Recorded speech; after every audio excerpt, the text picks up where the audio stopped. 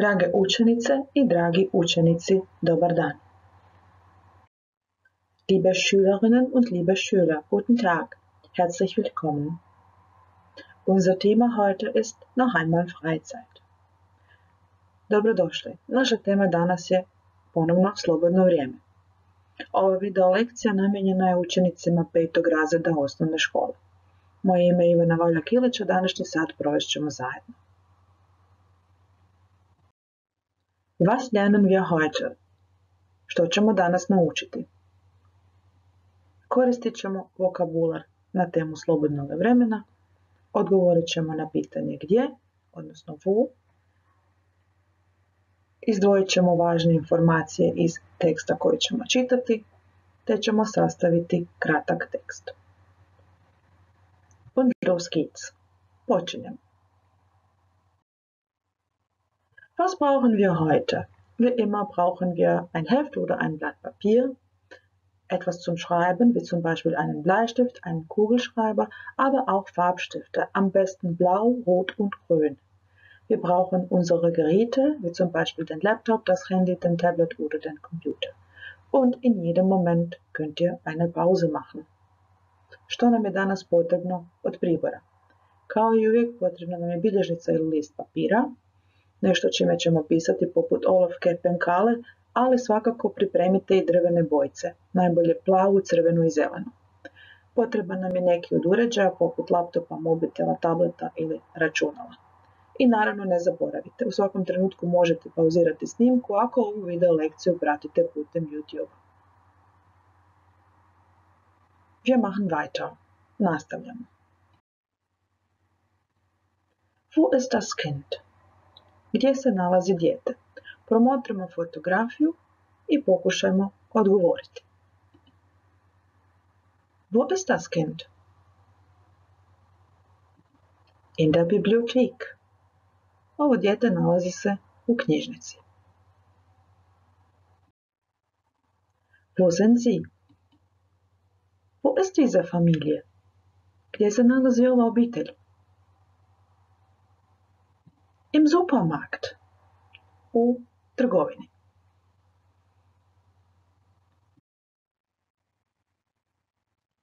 Wo sind Sie? Im Theater. Ako bolje promotrite fotografiju, vidite da je riječ o kazalištu. Wo ist das Kind? Mm, lecker. In der Konditorei gdje se nalazi dijete. U slastičarnici. Wo sind Sie? Im Park. Ako ovu video lekciju pratite putem YouTube-a, sada je dobar trenutak da, kada prijeđemo na sljedeći slajd, napravite pauzu. Naime, na sljedećem slajdu čeka nas poveznica na kratak tekst koji ćemo sada obrađivati. Wir machen weiter. Nastavljamo. Klaras Tagesplan. Klarin dnevni plan dostupan vam je na priloženom linku ili očitavanjem priloženog QR koda. Ako ovu video lekciju pratite putem YouTube-a, sada je dobar trenutak da napravite pauzu, očitate kod ili zapišete link. Na linku vas čeka radni listić s tekstom i jednim zadatkom. Wir machen weiter. Nastavljamo. Claras Tagesplan. Was hat sie vor? Sie möchte im Supermarkt Salat, Saft und Schokolade kaufen, in der Bibliothek Lektüre ausleihen, im Tanzclub die neue Choreografie üben, im Kino den neuen Film mit Melanie sehen, in der Konditorei Eis oder Kuchen essen. Glavni dnevni plan sadrži navedene aktivnosti. Sada je dobar trenutak da zaustavite ovaj video otvorite link s tekstom ili zapišete ponuđene aktivnosti u svoje bilježnice. Wir machen weiter. Was macht Klara wo? Što Klara gdje radi? Pred vama će biti ponuđene rečenice u kojima nedostaje mjesto na kojima Klara obavlja svoje slobodne aktivnosti.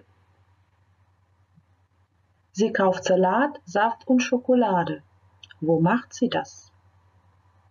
Sie leiht Lektüre wo aus? Sie übt die neue Choreografie. Wo macht sie das? Sie schaut den neuen Film. Wo schaut sie den neuen Film? Sie isst Eis oder Kuchen. Wo isst sie Eis oder Kuchen? Ako ovu video lekciju pratite putem YouTube, sada je dobar trenutak da zaustavite snimku, zapišete rečenice, dopunite ih ili pak da otvorite radni listić na prije ponuđenom linku ili QR kodu i zapišete rečenice iz tog radnog listića u svoje bilježnice. Wir machen weiter. Nastavljamo. Wir kontrollieren. Provjeravamo vaše rješenja. Sie kauft Salat, Saft und Schokolade im Supermarkt. Sie leiht Lektürebücher in der Bibliothek aus. Sie übt die neue Choreografie im Tanzclub. Sie sieht den neuen Film im Kino. Sie isst Eis oder Kuchen in der Konditorei.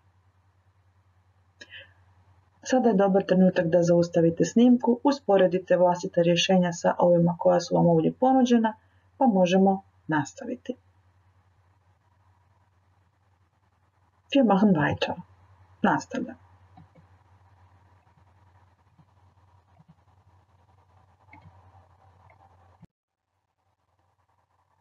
Wo.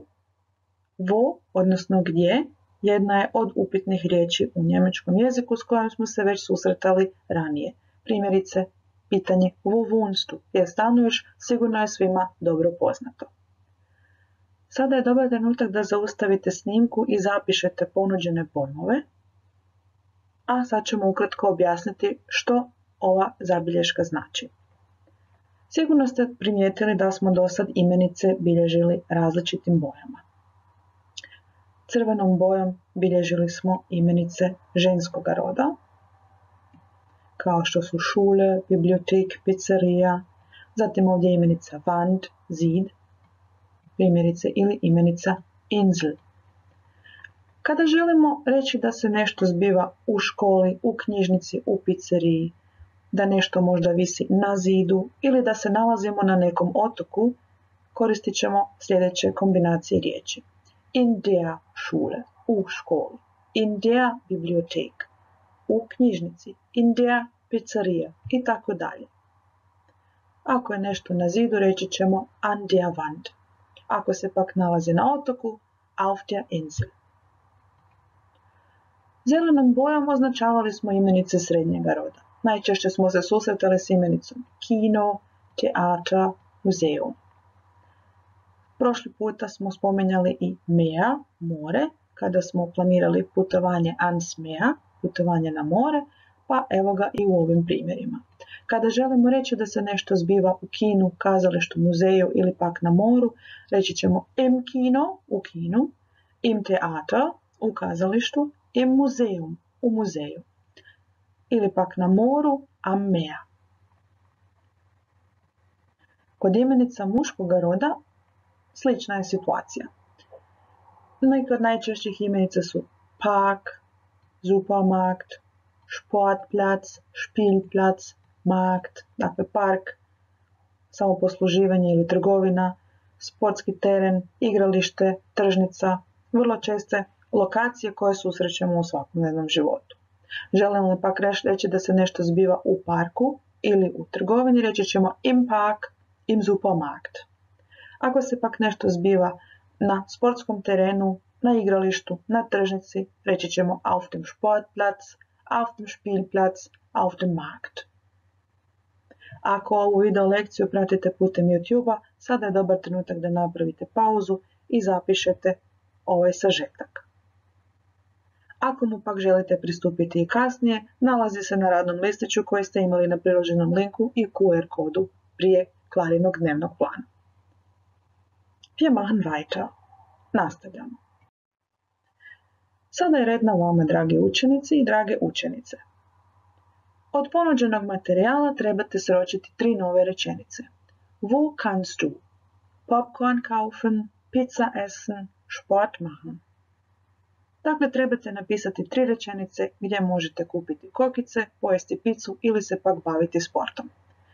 Imenice koje se odnose na mjesta na kojima ćete se baviti tim aktivnostima navedene su u zagradi i označene bojom onog roda kojeg je ta imenica.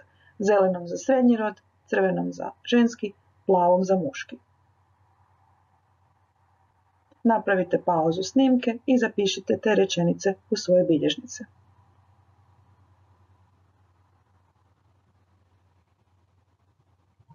Wir machen weiter. Wir kontrollieren. Provjerit ćemo koliko ste uspješno sročili nove rečenice. Ich kann Popcorn im Kino kaufen. Ich kann Pizza in der Pizzeria essen. Ich kann Sport im Sportclub machen. Sigurna sam da ste ovaj zadatak obavili uspješno i da ste pri uspoređivanju došli do zaključka da nemate pogrešaka. Wir machen weiter. Nastavljamo. Wir üben. Kao i svaki put, sve što ovdje učimo moramo malo i provježbati. Zato je ovdje pripremljen zadatak na aplikaciji Learning Apps za koje vam ovdje stoji ponuđen link ili pak QR kod. Sada je dobar trenutak da napravite pauzu snimke, zapišete link ili pak očitate QR kod, a zatim ćemo objasniti o čemu je riječ. Wir machen weiter. Wir üben. Vježbamo. Na navedenom linku, odnosno nakon što očitate QR kod, čeka vas jedna igrica. Imat ćete pet rečenica koje trebate dopuniti. U svaku rečenicu ponuđene su tri mogućnosti, no samo jedna pristaje. Vaš je zadatak odgovoriti na pitanje was passt, što pristaje. Ich wünsche euch viel Erfolg und viel Spaß beim Üben. Želim vam mnogo uspjeha i mnogo zabave pri rješavanju i pri vježbanju.